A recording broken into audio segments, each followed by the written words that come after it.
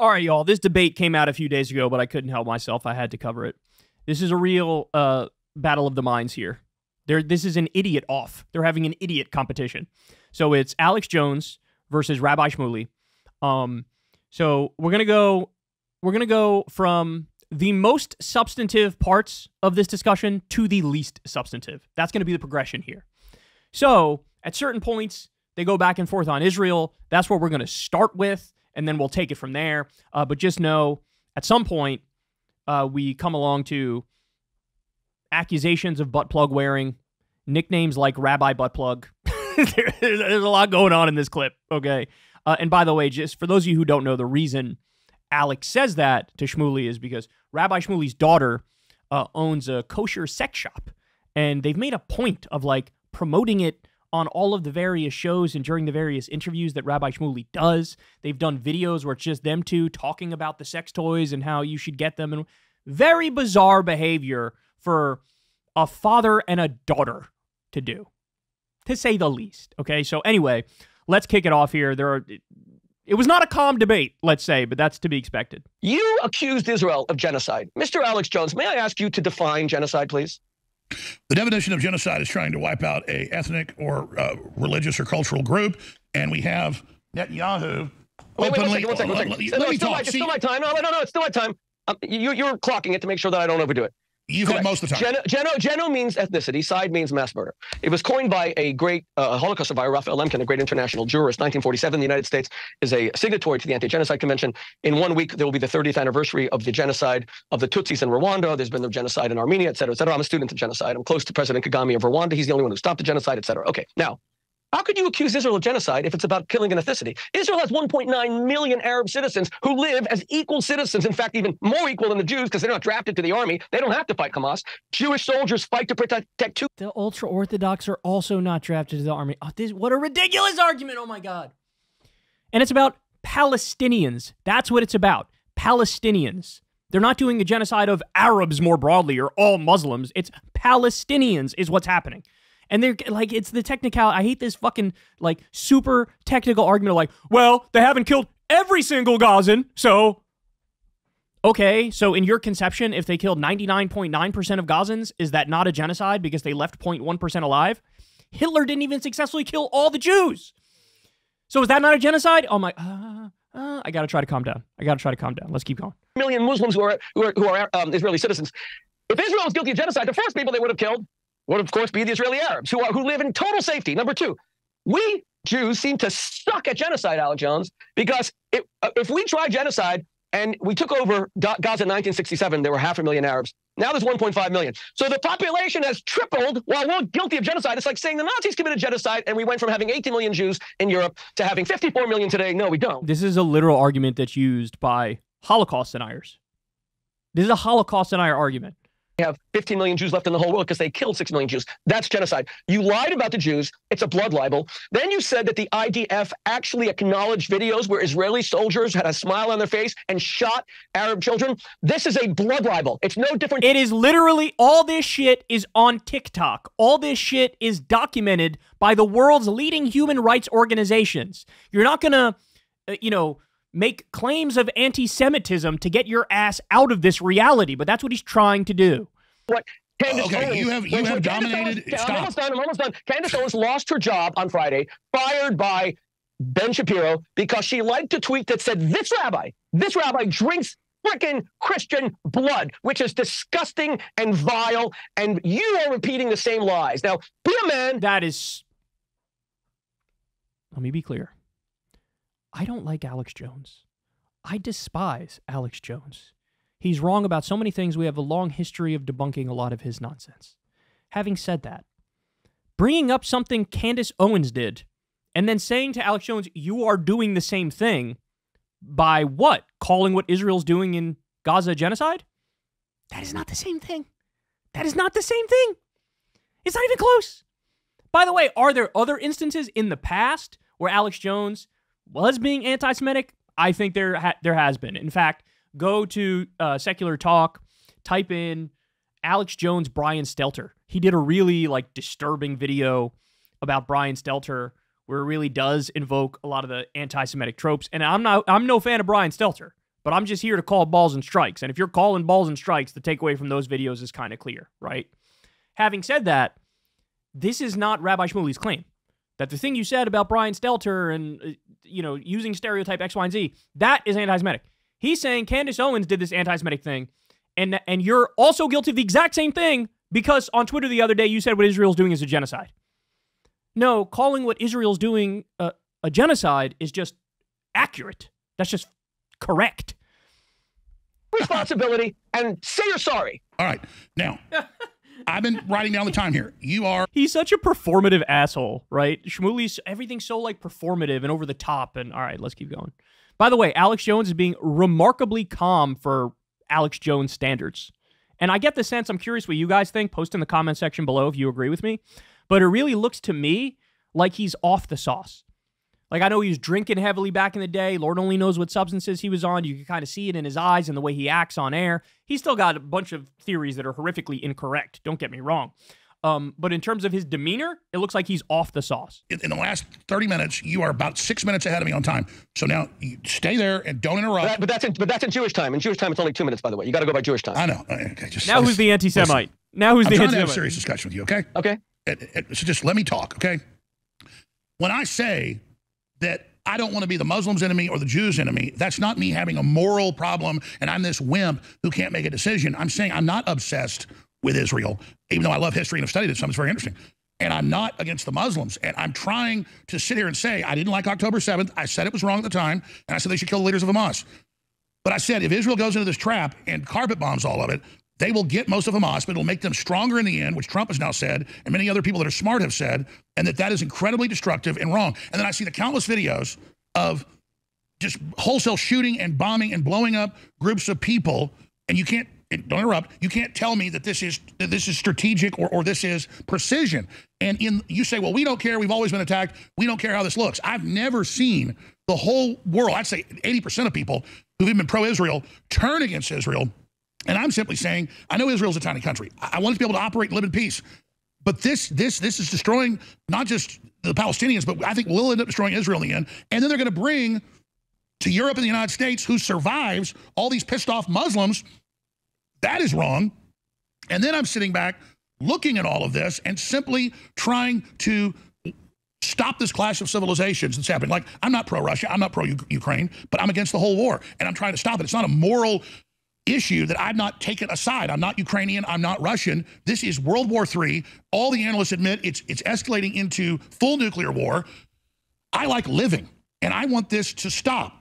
And so there is definitely, in my view, a, a chutzpah uh, with the Christian Zionists and, and, and with some of the radical right-wing folks in Israel that simply think that people can say and do whatever they want. And, and, and it's well documented that Rachel Corrie gets run over by the bulldozer and people make jokes about it, or that there's videos. I mean, the, the, the, this latest film got leaked out of the Israeli Defense Ministry of the, drone missiles raining down on kids walking up, you know, the middle of a dirt road, uh, trying to go back to their house, and, and they're being killed. And to say to Israel, you shouldn't herd them all up to the sea and then start bombing them in Rafah a, those are children. B, that looks bad. And you asked me the genocide question, and then you immediately interrupted because I had the definition. And yes, the Genocide Convention is 1947-48, directly off of a response to Hitler's final solution that was on record that they were going to try to exterminate all the Jews. That is a fact. That happened. And so I see the Nazis denying Hitler ever did that. And then I see what's happening in Israel and what's happening in Gaza and this bombing campaign hurting everybody into this area and doing this. And the world sees it as shooting fish in a barrel and sees it like Skynet with this, one of the most powerful militaries in the world for its size one of the most high tech, probably the most high tech. Nobody denies uh, that, that, that, there's incredible technology and developments everywhere in Israel. No one denies Jews aren't smart. And we're watching this, and it feels like we're watching Goliath sit there and and and, and basically rape David. It, it, doesn't look good. And I'm going to play you a video and you can respond. A, oh, I only want three minutes. I get one more minute. Here's a video yesterday of a girl with her leg blown off in Rafah, a seven-year-old girl. And I'm telling you, I, have heard uh, Benjamin Netanyahu, we can play the clip about Amalek invoking the Old Testament when groups were slaughtering each other. And actually, that was the time because they would do that too, saying you kill the women, the children, their animals, their men, they're all cursed, they're all evil, kill them all. He invokes that, and that's how they're bringing the war crimes charges and genocide crimes because he says it is an extermination. And I see the Israeli pundits everywhere. I could play hours of it here saying we're going to wipe them all out because those kids are going to grow up uh, to to to to kill us. And it's like you kill them, more Muslims come. They're having five, six kids apiece. So I can see where this leads. So here's a clip uh, of uh, what was the clip I was going to play? Uh, I forget. There's, oh yeah, this is the girl with her leg blown off. And then I also want to play one more clip, and I'll give you like five minutes. A clip of Joan Rivers talking about Michelle Obama. So play them both back to back. Is Joan Rivers talking about Michelle Obama. Okay, the reason he did that is because earlier in the conversation they were having the is Michelle Obama a man debate. But this like th- that's why this this debate is amazing. Because like talking about Israel, Alex Jones is like shockingly coherent and cogent and making more reasonable points. But then on like everything else, Sandy Hook and Michelle Obama and uh, uh, Macron's wife and it's like right back into Kookyville, and he sort of undermines the decent points he makes on the Israel portion with all that other stuff. But all right, let watch a little bit more of this part. Again, I'm showing you right now. This is the most substantive part of this discussion. That's why I'm showing you right now. We're gonna get to the other ones in just a minute, so hang in there.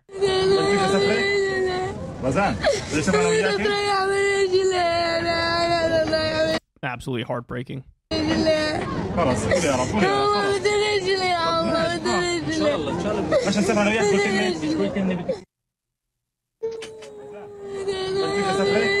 Go to Joan Rivers. I, I, I wanted Joan Rivers, guys. Will you get me the Joan Rivers clip? I've asked like I'm not Matt Crib. I've asked five times. Joan Rivers clip. I want that because Joan Rivers said that Michelle Obama is a man, but that's a separate issue. We'll get to it in a minute. Okay, I just went for I just went for five uh, five minutes. I got my time back. Go ahead. Yeah, but remember, five Jewish minutes is 20 minutes. I get 20 minutes now, Alex. Correct? Is that because can you can you, can you laugh occasionally? Okay. Anyway, here we go because this is this is a serious issue.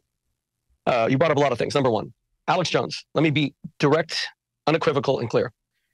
Your disgusting comparison of what Israel's doing in Gaza to the Nazi Germany Holocaust is the very essence of anti-Semitism and the ultimate blood libel. Talk about a one-trick pony. Talk about all the things that were said. Anti-Semite blood libel. Anti-Semite blood libel. Anti-Semite blood libel like what, what, what are we supposed to do with it? And, and I love how immediately it's the, the over the top that did disgusting, disgusting. Okay, just from a a human perspective, the way people interact, the way they communicate, it's almost like he's trying to be as ineffective as humanly possible on purpose. Nobody's gonna like you. Nobody's gonna agree with you if you are so over the top and antagonistic and aggressive all the fucking time. God, it's amazing. It's amazing. Imagine Rabbi Shmuel. This is like when remember when Kanye went on Alex Jones show and Kanye made Alex Jones look sane and reasonable in response to to him. We're sort of in a similar position here with Rabbi Shmuley. Like you're making Alex Jones look really rational and calm. Okay, so now um, let's go to so this is where a lot of it goes uh, off the rails here. Let's watch. I'm simply saying that all these governments get more power out of terror, more power out of crisis, more, ta- more power out of insanity. Just like if we get hit by Hezbollah or Hamas, all these Islamics coming into the U.S., There'll be no discussion of who let them in. It'll all be just lose your rights. The border's wide open, but my balls, and like you talk about, my tiny pee uh, will then be fondled at the airport. So to me, I have a pro, you call me a white supremacist. I'm a human supremacist against the AI, against the New World Order, against the globalist, against the fentanyl, against the glyphosate, against the GMO, against the 5G. I don't look at it as Jew, Christian, Muslim, you know, uh, Palestinian. I look at it as people. I don't look at Xi Jinping and then hate the Chinese people. So that's where I am. And, and people will say, oh, Jones hosted this Zionist. He's with the Zionist. Or Jones hosted Kanye. He's with Hitler uh, uh, uh, when he was clearly having a mental breakdown. That is not. I'm really trying to have a large, very, very informative debate. We're going to break in a minute. Go ahead. Come on, Alex. These are just the most pathetic excuses. You're not a humanitarian. Cut the crap that uh, you're against globalism. You're against humanity itself. You defend. of all the ways to go after Alex Jones, you're anti human it's like he's trying to lose debates on purpose and make everybody hate him. The murder of Jews, you blame what? the Jews for the racism. You're against humanity itself. You defend the murder of Jews. You blame the Jews for their own murder. You say that they're going to get terrible PR. You know, the one thing I do respect about you amidst your extremely checkered past and the disgrace you brought upon yourself by denying those 20 beautiful children and six educators who were murdered in Sandy Hook, the one thing I respected about you is that you went to court to fight to get custody of your children after a divorce. Let me ask you a question. What if someone had, God forbid, and I'm sorry to have to bring this up, come into your house in the middle of the night, forget about custody, and murdered your children, and beheaded your children, and burned your children alive? You're a pretty tough guy. What would you do?